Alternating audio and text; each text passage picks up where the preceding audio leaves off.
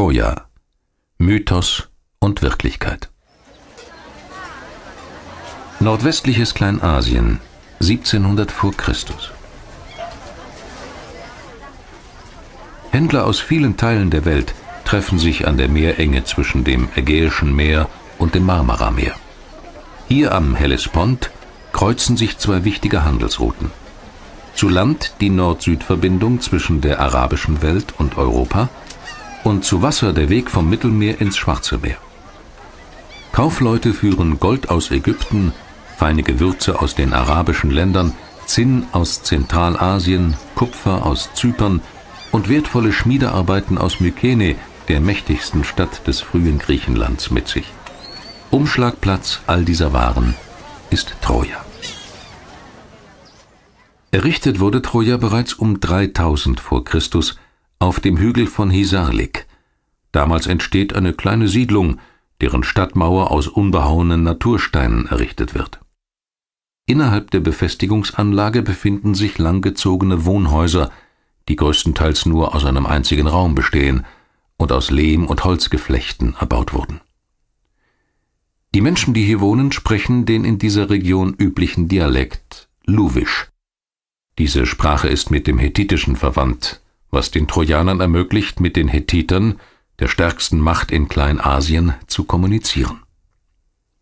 Die Trojaner sind geschickte Handwerker. Aus Ton und Stein stellen sie Gefäße her und entdecken frühzeitig die Vorteile der Metallverarbeitung. Werkzeuge und Waffen aus Kupfer und Bronze verschaffen ihnen gegenüber Angreifern einen entscheidenden Vorteil. Doch trotz der geografisch vorteilhaften Lage am Hellespont und der hervorragenden handwerklichen Fähigkeiten ihrer Bewohner findet der Aufstieg der prosperierenden Stadt ein jähes Ende. Eine Feuersbrunst vernichtet das frühe Troja und macht es innerhalb kürzester Zeit dem Erdboden gleich. Doch es sollte nicht lange dauern, bis der Hügel zu neuem Leben erwacht. Bereits 2500 vor Christus steht Troja II, wie die Archäologen es später nennen werden, wieder in seiner vollen Blüte. Größer und mächtiger als ihre Vorgängerstadt erhebt sich die Zitadelle nun über der Meerenge. Zusammen mit der Unterstadt umfasst das neu erbaute Troja eine Fläche von neun Hektar. Die Festung alleine nimmt ein Zehntel davon ein. Repräsentative, mehrräumige Häuser schmücken den Burghof. Sie dienen den Bewohnern als Kult- und Versammlungsstätten. Ein besonders großes Gebäude könnte darauf hinweisen, dass es zu dieser Zeit bereits einen Palast in Troja gegeben hat. Überliefert ist jedoch nichts dergleichen. Überhaupt scheinen die Trojaner keinen großen Wert darauf gelegt zu haben, der Nachwelt schriftliche Zeugnisse ihrer Existenz zu hinterlassen. Keine einzige beschriftete Tontafel, keine Gebäudeinschrift, kein Siegel und keine Piktogramme geben Aufschluss über das Leben im kleinasiatischen Stadtstaat. Da die Küstenlinie in der Antike weiter im Landesinneren verläuft, verfügt Troja über einen direkten Zugang zum Meer. Durch die starke Strömung, die in der Meerenge zwischen Ägäis und Marmarameer herrscht, und durch den unerbittlichen Nordostwind in den Sommermonaten ist diese Stelle für Schiffe oft wochenlang unpassierbar. Die Händler sind dann gezwungen, ihre Waren auf dem Landweg zu transportieren und müssen dazu in Troja ihr Schiff verlassen. Verständlich, dass ein Teil der Waren dann direkt in der Stadt umgeschlagen wird, und so häuft sich im Lauf der Jahre ein beträchtlicher Reichtum an. Aus der Zeit von Troja II stammt wohl auch der großartige Schatz, den der deutsche Heinrich Schliemann Ende des 19. Jahrhunderts entdeckt und fälschlicherweise für den Schatz des Priamos, des legendären Königs von Troja, hält. Gold- und Silberbecher, Diademe, reich verziert mit Hunderten von Goldplättchen und Perlen auf dünnen Goldfäden, Ketten und Tausende von Ringen, Haarklammern, Ohrringe, Dolche, Lanzen und silberne Messer lassen nur erahnen, wozu die Kunstschmiede 2500 vor Christus fähig sind. Doch trotz der Größe und des Reichtums ist auch dieses Troja nicht vor dem Untergang gefeit und geht, wie schon die Vorgängerstadt, in Flammen auf. In den kommenden 800 Jahren werden auf dem Hügel von Hisarlik drei neue Städte errichtet, die alle das gleiche Schicksal ereilt. Erst 1700 vor Christus erlebt Troja eine neue Blütezeit. Prächtige Bauten, umgeben von einem gigantischen Schutzwall, zieren das Stadtbild. Der Hügel, auf dem Troja nun errichtet ist, ist höher als zu Beginn der Jahrtausende alten Stadtgeschichte. Der Schutt der Vorgängerstädte liegt unter den Grundmauern der neu errichteten Metropole und lässt diese noch weiter in die Höhe ragen. Von weitem ist nun sichtbar, Troja ist uneinnehmbar, ganz so, wie es Homer in der Ilias beschreibt. Keine andere Burganlage in der Region kann auch nur im entferntesten mit Troja konkurrieren. Keine feindlich gesinnten Truppen können die Stadt einnehmen. Die Schutzmauer, aus akribisch behauenen Kalksteinen mit einem Aufbau aus Lehmziegeln, ist bis zu zwölf Meter hoch. Unten fünf Meter breit läuft die Mauer nach oben hin schmal zu, scharfkantige Steine bilden den Abschluss. Das Areal, das sie begrenzt, ist rund sechs Hektar groß. Den Hauptzugang zur Burg bildet das über drei Meter breite Südtor, das von einem gewaltigen Turm flankiert wird. Eine Hauptstraße führt von hier aus zum Palast und zu verschiedenen Tempeln. Im nordöstlichen Turm der Burganlage befindet sich eine Zisterne, die tief in den Hügel hineingegraben ist und die Wasserversorgung der Burgbewohner auch im Krisenfall sicherstellt. Umgeben wird die Zitadelle von der Unterstadt, die mit 27 Hektar Fläche dreimal so groß ist wie Troja II. Hier stehen große, mehrräumige Häuser, die aus Steinen und Lehmziegeln errichtet sind. Ungewöhnlich ist, dass auch die gesamte Unterstadt von einer Mauer und einem tiefen Graben geschützt wird. Die Menschen, die hier leben, betreiben Ackerbau und Viehzucht, um die Ernährung der Stadt sicherzustellen – die beiden Flüsse Scamander und Simois im trojanischen Hinterland versorgen Menschen, Tiere und Landwirtschaft mit Trinkwasser und überziehen den kargen Boden bei jedem Hochwasser mit fruchtbarem Schlamm. Ein Novum ist zu dieser Zeit die Töpferscheibe. Wurden Tonwaren bis dahin mühsam von Hand geformt, können die Trojaner nun sehr viel einfacher und vor allem auch rationeller Keramikgefäße herstellen – als Rohmaterial verwenden sie hierfür grauen Ton, der für die anatolische Küstenregion charakteristisch ist. An der Spitze des Stadtstaates steht ein König, der oberster Richter und Priester zugleich ist. Schon zu seinen Lebzeiten bestimmt er seinen Nachfolger und stellt so den Fortbestand der Monarchie sicher. Beamte und Krieger bilden den Hofstaat. Schriftstücke aus der hethitischen Stadt Hattusha belegen, dass zwischen Troja und dem Hethiterreich freundschaftliche Beziehungen gepflegt werden. In diesen Überlieferungen finden sich auch die Namen von drei trojanischen Herrschern: Kukuni, Alexandu und Valmu, die von den Hethitern als Großkönige akzeptiert sind. Doch trotz der guten Kontakte zu ihrem übermächtigen Nachbarn schließt sich Troja mit anderen Kleinstaaten Westanatoliens zu einem lockeren Staatenbund zusammen. Ziel der sogenannten Arvasa-Allianz ist es, im Ernstfall gegen einen Übergriff von außen gewappnet zu sein. Es ist wohl um das Jahr 1300 vor Christus, als ein schweres Erdbeben die Region erschüttert. Unter ohrenbetäubendem Lärm stürzt alles, was die trojanische Kultur erschaffen hat, in sich zusammen.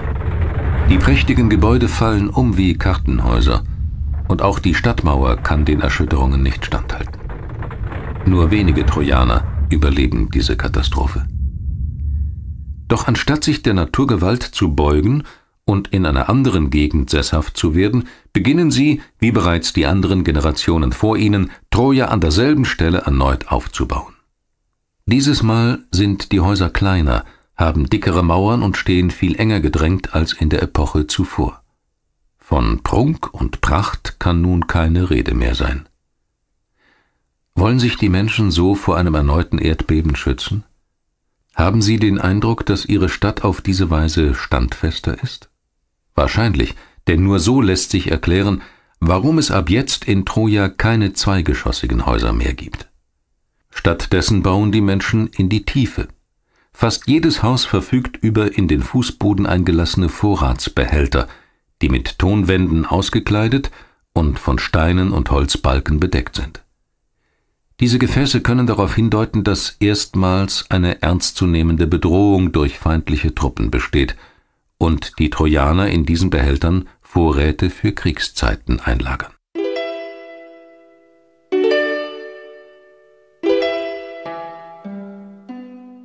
Betrachtet man die politische Situation um 1300 v. Chr., ist diese Annahme nicht unwahrscheinlich.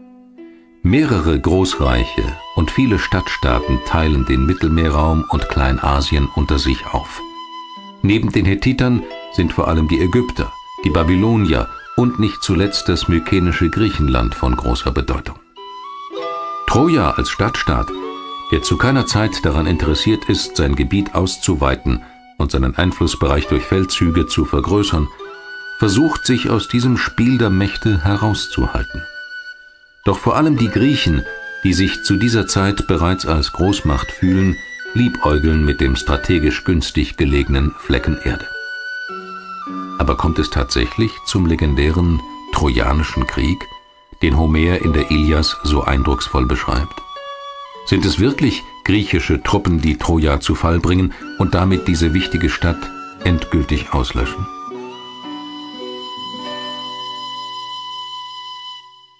Aufschluss über den Untergang Trojas geben vor allem ägyptische Quellen. An der Wand des Totentempels von Ramses III. finden sich Inschriften, die vom Versuch einer Eroberung Ägyptens durch die Seevölker berichten und den gesamten Mittelmeerraum in Angst und Schrecken versetzen.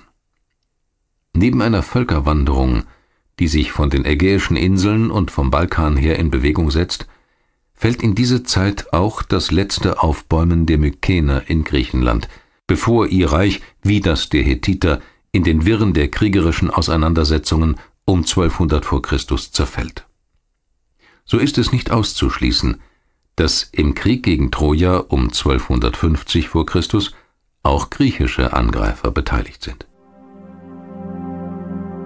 Doch wie kommt Homer dann darauf, rund 500 Jahre nach der Zerstörung Trojas ein Epos zu schreiben, das die Griechen als siegreiche Übermacht darstellt. Und welche wahren Züge enthält die Ilias? Nun, die geografischen Angaben, die Homer macht, sind durchaus zutreffend. Und auch die Beschreibung der Architektur stimmt überraschend genau mit den Funden der Archäologen überein.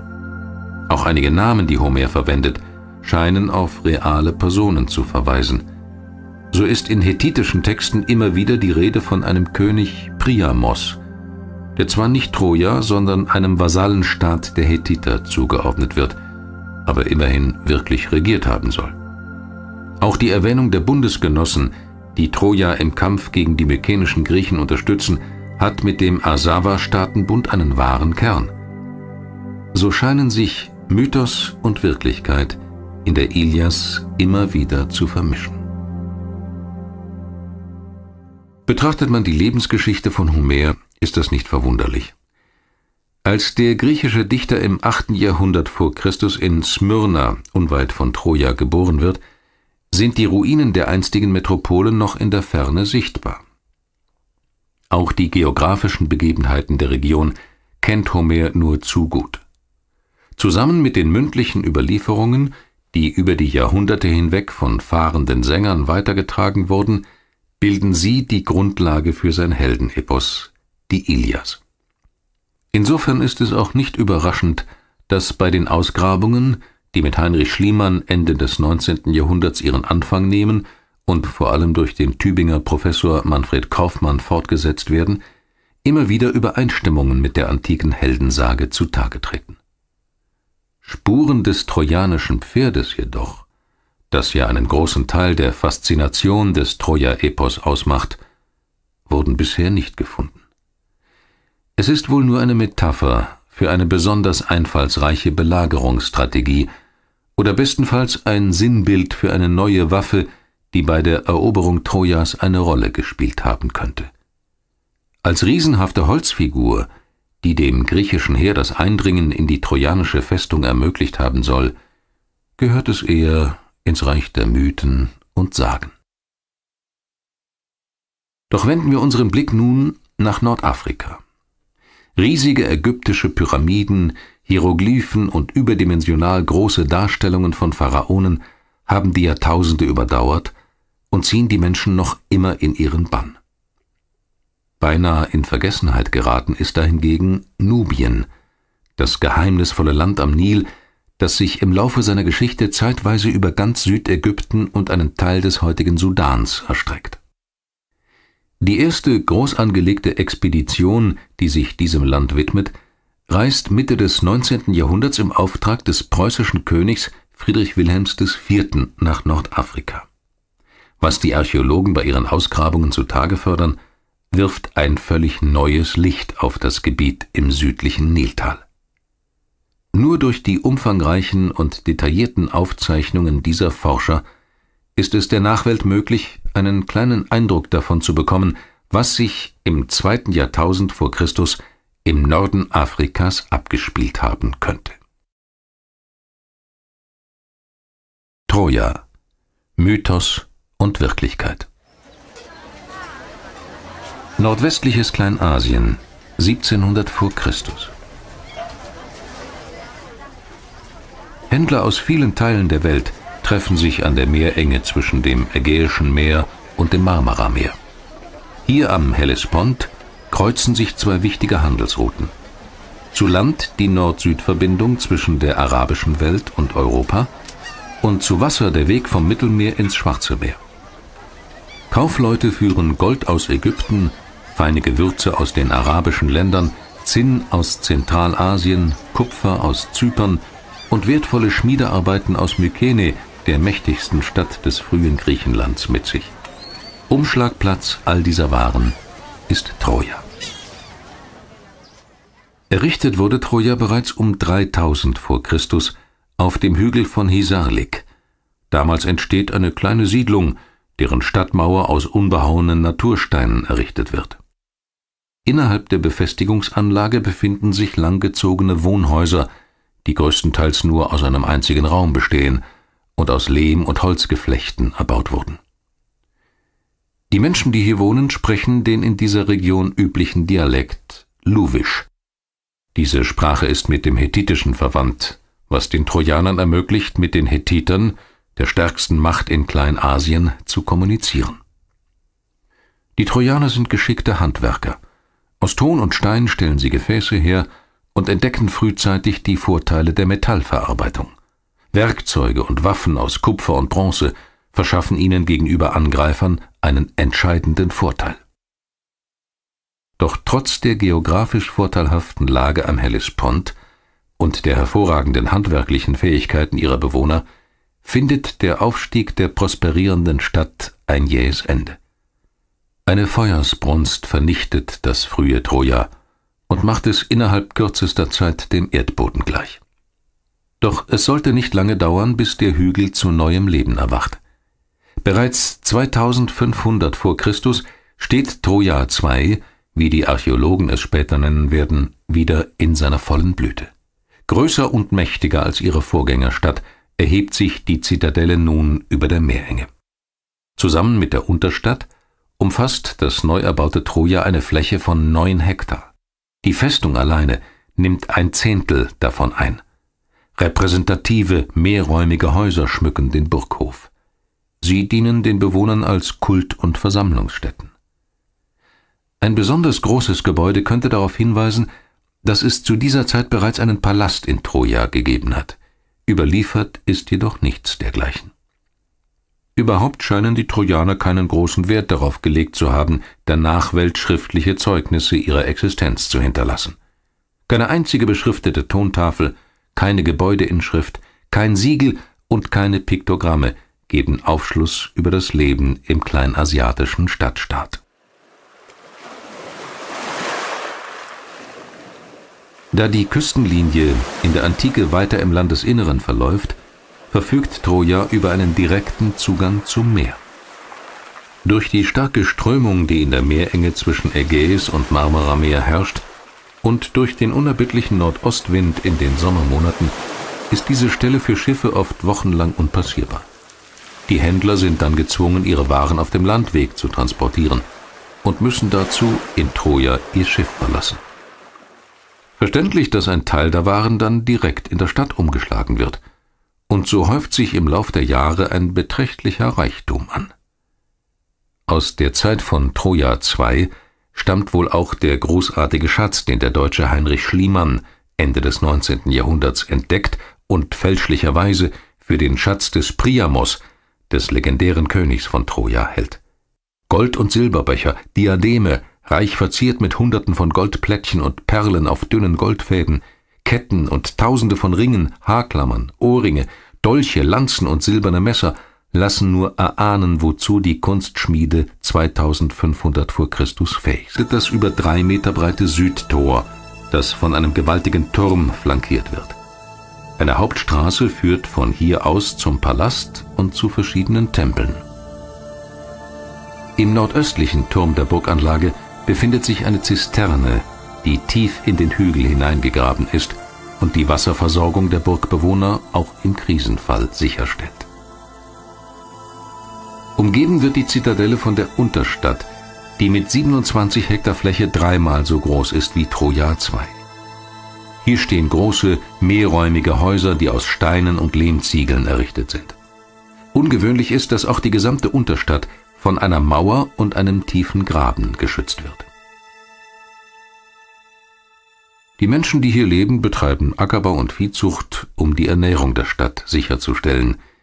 Die beiden Flüsse Skamander und Simois im trojanischen Hinterland versorgen Menschen, Tiere und Landwirtschaft mit Trinkwasser und überziehen den kargen Boden bei jedem Hochwasser mit fruchtbarem Schlamm. Ein Novum ist zu dieser Zeit die Töpferscheibe wurden Tonwaren, bis dahin mühsam von Hand geformt, können die Trojaner nun sehr viel einfacher und vor allem auch rationeller Keramikgefäße herstellen.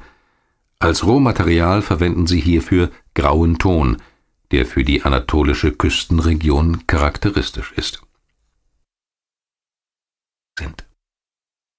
Doch trotz der Größe und des Reichtums ist auch dieses Troja nicht vor dem Untergang gefeit und geht wie schon die Vorgängerstadt, in Flammen auf. In den kommenden 800 Jahren werden auf dem Hügel von Hisarlik drei neue Städte errichtet, die alle das gleiche Schicksal ereilt. Erst 1700 vor Christus erlebt Troja eine neue Blütezeit. Prächtige Bauten, umgeben von einem gigantischen Schutzwall, zieren das Stadtbild. Der Hügel, auf dem Troja nun errichtet ist, ist höher als zu Beginn der Jahrtausende alten Stadtgeschichte. Der Schutt der Vorgängerstädte liegt unter den Grundmauern der neu errichteten Metropole und lässt diese noch weiter in die Höhe ragen. Von weitem ist nun sichtbar, Troja ist uneinnehmbar, ganz so, wie es Homer in der Ilias beschreibt. Keine andere Burganlage in der Region kann auch nur im entferntesten mit Troja konkurrieren. Keine feindlich gesinnten Truppen können die Stadt einnehmen.